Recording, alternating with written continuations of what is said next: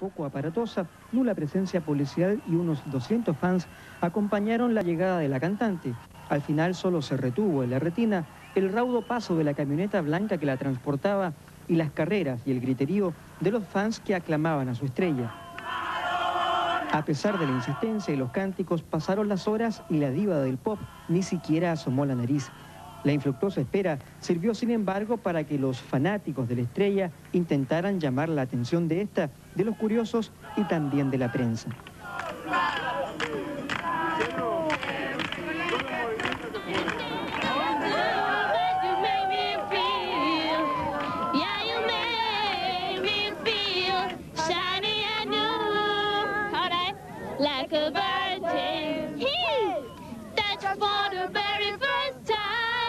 Esta mañana la guardia sobre el Hotel Hyatt seguía, claro que con una intensa lluvia que mojaba la espera.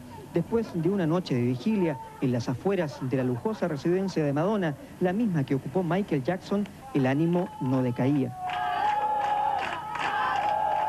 ¿Tienes un poco de temor que el concierto no se haga por la lluvia? No. ¡Jamaica! No, se va a hacer porque la diosa es bárbara. Mientras en el estadio de River Plate la fila por ingresar primero era gigantesca, la torrencial lluvia dio pie para que algunos ganaran un buen dinero a costa de los fanáticos. Señor, ¿cómo está? ¿A cómo están los Cinco pesos cada uno los pilotos. ¿Muchos cinco pesos? No, es mucho, al contrario. ¿O se está haciendo, o se está haciendo el dinero hoy día por la lluvia? No, no, no, no son los precios este, que corresponden, nada más. Saque usted mismo la cuenta. Cinco pesos son cinco dólares y había vendido 200, es decir, más de 400 mil pesos chilenos en pedazos de plástico.